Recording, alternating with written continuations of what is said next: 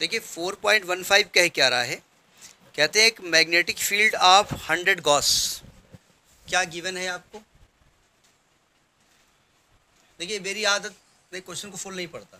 नहीं पढ़ता हूँ तब। पहले आप गिवन लिखना शुरू कर दीजिए। फुल स्टॉप तक ना जाइए। मैग्नेटिक फ़ील्ड कितना दिया हुआ है? हंड्रेड गॉस गॉस बोले तो ten power minus four tesla बोले तो ten power minus two tesla ये मैग्नेटिक फ़ील्ड दिया हुआ है। Magnetic field of hundred gauss is required इसलिए रिक्वायर्ड है। Which is the uniform in the region of the linear dimension due to about ten centimetre linear dimension about ten centimetre देखिए ध्यान से। पूरा अभी इसको हम नहीं लिख रहे हैं। Linear dimension of ten centimetre फ़िलहाल इसको एल मान लेते हैं।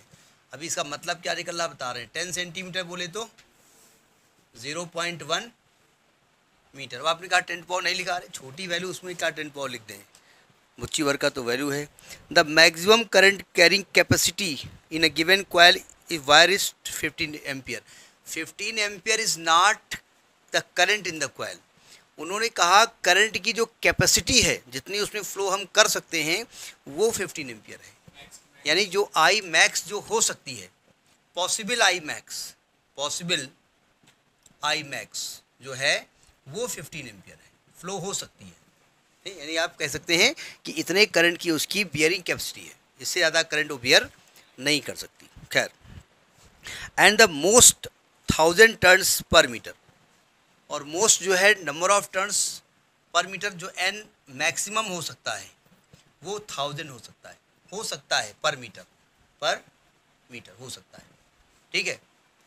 यानी कि 10 सेंटीमीटर रेंज तक वो लीनियर मैग्नेटिक फ़ील्ड देता है। अभी हम बता रहे हैं। आपने देखा होगा सोलेनाइड में क्या होता है? बीच में मैग्नेटिक फ़ील्ड ऐसे होता है ना लीनियर नहीं होता है। और कॉर्नर व्याप पे आगे मैग्नेटिक फ़ील्ड मुड़ जाता है। तो ये जहाँ तक ये लीनियर रहता है, वो जो डिस्टेंस है, वो कितनी है? टेन सेंटीमीटर है। अब उस टेन सेंटीमीटर के अंदर आपको क्वाइल बनानी है। अब क्वाइल बनाने का के लिए क्या होता है कि अधिक से अधिक एक हज़ार टन उसमें आप ले सकते हैं पर मीटर ठीक है? भाई, उससे ज़्यादा जगह नहीं है। भाई क्वाइल की जो क्वाइल है, जो वायर है, उसकी कुछ मोटाई होगी ना तो कैसे उसको लपेटेंगे आप जाकर के? ठीक है? तो ये कह रहे हैं कि suggest some appropriate design particulars of solenoid for required purpose assume that core is not ferromagnetic अब चूँकि फेरोमैग्नेटिक आप जानते नहीं, उसके बारे में भी हम बात करते हैं। कहते हैं कि हमारा पर्पज़ ये है कि ये क्वाइल कर सकती है इतना, ठीक है? तो हम अपने पर्पज़ को सॉल्व करने के लिए कैसी कैसा सॉलिडेंट बना सकते हैं, कैसा बनाएँ? तो देखे जानते हैं मैग्नेटिक फ़ील्ड सॉलिडेंट में क्या फॉर्मूला होता है? B is equal to mu nought N I ये जो एन और आई है ना, ये वैल्यू गिवन नहीं है। ये हो सकती वाली वैल्यू है। तो हम एन आई का मल्टीप्लाई निकालने जा रहे हैं। तो जब यहाँ से एन इंटू आई निकालेंगे तो कितना आएगा? बी अपान म्यू नॉट तो जब बी की वैल्यू रखी हमने, ten to power minus two tesla और म्यू नॉट की क्या वैल्यू होती है? Four pi, four into pi बोले तो three point one four ten power minus seven जब इसको हमने कैलकुलेट किया तो वैल्यू अप्रॉक्सीमेट आएगी।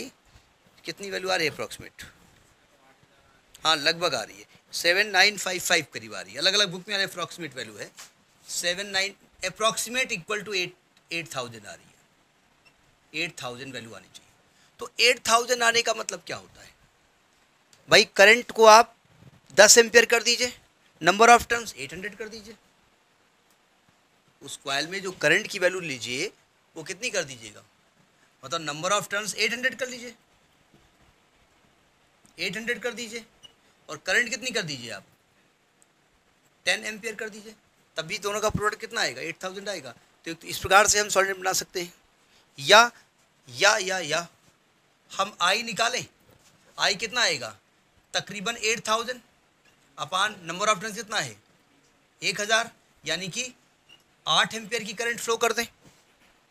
ये अप्रॉक्सीमेट वैल्यू लिखी है आपने। आप इसको कैलकुलेट अप्रॉक्सीमेट पहले नहीं करेंगे। ये सेवन नाइन फाइव फाइव आएगा। तो हम कहेंगे, भाई, हम पूरे एक हज़ार टर्न लिखा करने, और करंट कितनी फ्लो कर दें? ये भी कर सकते हैं हम। यानी कुल मिलाकर के ये कई आंसर इसके हो सकते हैं। आपको एन और आई ऐसा एडजस्ट करेंगे कि आई पंद्रह से ज़्यादा ना हो। एन एक हज़ार से ज़्यादा ना हो और मल्टीप्लाई आठ हज़ार से ज़्यादा ना हो। तो ऐसा आप अरेंजमेंट कर सकते हैं कि नंबर ऑफ़ टर्न्स इस प्रकार एडजस्ट करें कि दोनों का मल्टीप्लाई एट थाउज़ेंड से ज़्यादा ना हो अप्रॉक्सीमेट ठीक है? और एन इससे ज़्यादा ना हो, इससे ज़्यादा ना हो। इनके बीच में आप कोई वैल्यू ले सकते हैं, ठीक? है नोट करिए इसको जो ये बता रहे हैं कि ferromagnetic substance assume that core is not ferromagnetic ferromagnetic substance के बारे में हमने हल्का सा एक दिन बताया था। फेरोमैग्नेटिक जो होता है, वो मैग्नेटिक फ़ील्ड में आने पर वो हाईली मैग्नेटाइज हो जाता है। ठीक है? जब खुद हाईली मैग्नेटाइज हो जाएगा तो काफ़ी सफिशियंट मैग्नेटिक फ़ील्ड वो खुद क्रिएट कर देगा। नहीं समझे? भाई एक्चुअली मैग्नेटिक फ़ील्ड क्रिएट कैसे होता है? किसी भी एटम में इलेक्ट्रॉन रेंडम मोशन करते हैं। जब उस एटम को आप मैग्नेटिक फ़ील्ड में रखते हैं तो वो मैग्नेटिक फ़ील्ड की डायरेक्शन में अलाइन हो जाते हैं। ठीक है? अब मान लें किसी भी सब्सटेंस में एक हज़ार एटम्स हैं। अब अगर एक हज़ार एटम्स हम अलाइन हो जाएँ मैग्नेटिक फ़ील्ड एक्शन में तो हाईली मैग्नेटाइज हो गया, ठीक है? अब सब्सटेंस खुद मैग्नेटाइज हो गया प्लस क्वाइल में magnetic field sorry current flow हो रही है, उसका खुद का मैग्नेटिक फ़ील्ड है तो अपने आप मैग्नेटिक फ़ील्ड कैसा हो जाएगा? हाई हो जाएगा तो वो कह रहे हैं कोर के अंदर फेरो मैग्नेटिक सब्सटेंस नहीं है। मतलब वो जो सब्सटेंस रखा हुआ है, वो कोई मैग्नेटिक फ़ील्ड क्रिएट नहीं हो रहा है, कर रहा है। केवल करंट की वजह से वहाँ पर मैग्नेटिक फ़ील्ड है। नहीं समझे? तो ये वो कहना चाहते हैं।